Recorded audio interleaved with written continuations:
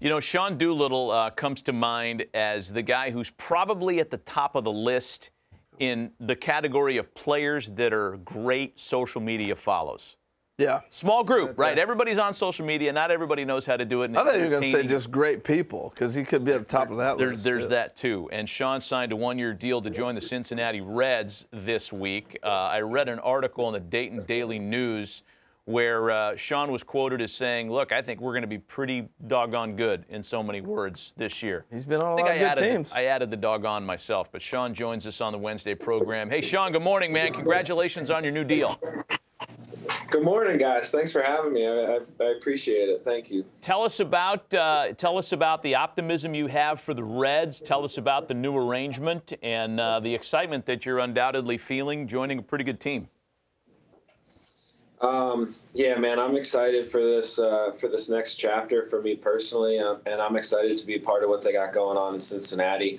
Um, you know, making the playoffs last year, I think this is a group that's that's hungry to continue that momentum and, and, and take the next step. And uh, I love the mix of uh, you know veteran guys, young guys that they have on the team. I love um, what their their pitching guys, uh, Derek Johnson and Eric Jagers, are doing um, with the staff, and um, you know this is going to be a, a, a, new adventure. I'm really excited about it. Well, Sean, you've been on some good winning teams, and uh, you understand that dynamic.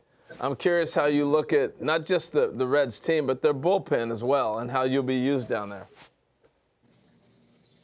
Yeah, um, so I was really open with the Reds um, throughout this whole process. Um, I'm open to uh, any any role, whatever whatever they want me to do, however I can help. Um, the bullpens um, that I've been a part of that have been the most effective have been groups of guys that don't really care about the role, that embrace whatever um, they are asked to do. Um, you know, if they say if, if, the manager says, "Hey, you're you're the seventh inning guy, you got the seventh tonight," it's like, okay, well, you know, maybe part of you wants to be pitching well enough that you're in the mix for that closer spot, but at the same time, you're saying like, I'm going to be the best seventh inning guy in the league, and I'm going to embrace this role. I'm going to help get the ball to that to that guy at the end of the game. I'm going to protect this lead with everything I got.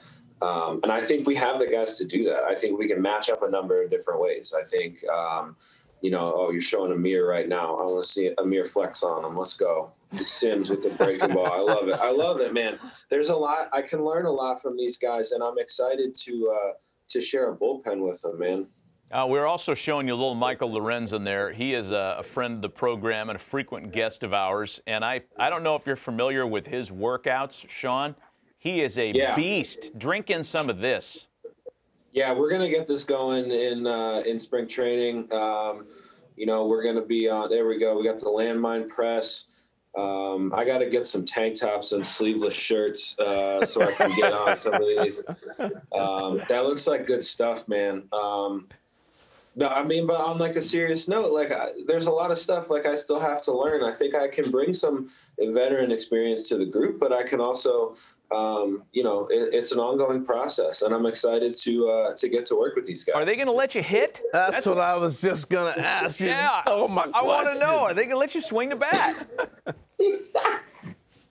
um, I I don't. It has. I don't think so. Let's. You know that ship sailed a while ago. Um, I think the farther removed from uh, my my first base days, the better at the better at it I used to be. Right. Like it's. Um, if you don't use it, you lose it. Oh man, modest, I was. Man. I don't know. I Michael Lorenzen is going to talk you into it. I, I, I can see you a little home run derby in BP with him, no doubt. Hey, but I want to keep moving real quick. I want to ask you about your charity stuff because you're always so involved with doing so many things. What are you focused in on right now? Uh, you know, right now, this off season, we've kind of, um, you know, taken uh, a little bit of a step back and tried to focus on, you know, this whole free agency process. Um, it was a little bit of a roller coaster, and you know, now that we know where we're going to be next year, um, you know, we're starting to, you know, kind of do some research. We have a lot to learn about the city of Cincinnati, um, and uh, we're definitely going to try to to do something um, while we're there. Um, we're not sure what that's going to look like yet, but I think that's the off the field stuff that my wife and I have been involved in um, has been so rewarding for us, and I think it's been a big part of um, you know why we've been able to connect with fans in, in, in every place that we've been, and uh, it's made it you know such a rewarding and special experience. I think you and your wife, and I'll speak for for fans like me, uh, have also connected with your your local fan bases wherever you've pitched because you've always been very uh, transparent with the things you like off the field, away from baseball. And I'll use your words: you're a self-described nerd, as we all are. Uh, you, you, tweet a lot about Star Wars. I know you're a Phish fan. You, you like to read. What What are you nerding out on right now that you might connect with with somebody in Cincinnati? Oh man, um, I don't know chili recipes. Um, I don't know. I don't know. Little Um, skyline so- going on. Yeah, so um, yeah, like you know, just interacting with fans on social media over the last couple of days, um, we've already started to get recommendations on independent bookstores and some uh, some good spots in the uh, community. I had mentioned when I was talking with the uh, the Cincinnati media that. Uh, the last time, one of the last times we were there, I found like a really cool vintage store, and I got like a cool, um, uh, a, a retro Grateful Dead shirt, and uh, so I got like people giving me recommendations on that stuff too for like cool vintage shops and um, and stuff like that. So uh, I'm gonna have to put together you know a reading list and, and stock up on books for spring training. So I appreciate um, the Reds fans pointing me in the right direction when it comes to uh, you know bookstores. I don't know what the protocols are going to be during the season this year. So, uh, you know, supporting local businesses and stuff like that in Cincinnati is probably going to be done online virtually. Uh, so, um, but this is it, it's been cool to interact with the fans because we have a lot to learn about the the city and stuff. So I appreciate uh, the the advanced scouting report, if you will. Well, you do a great job connecting with people, man. Uh, you you had me hooked when you were lamenting the length of a CVS receipt on Twitter a number of years ago, and I was like, yeah, yeah, that's right. They Ah. keep running that.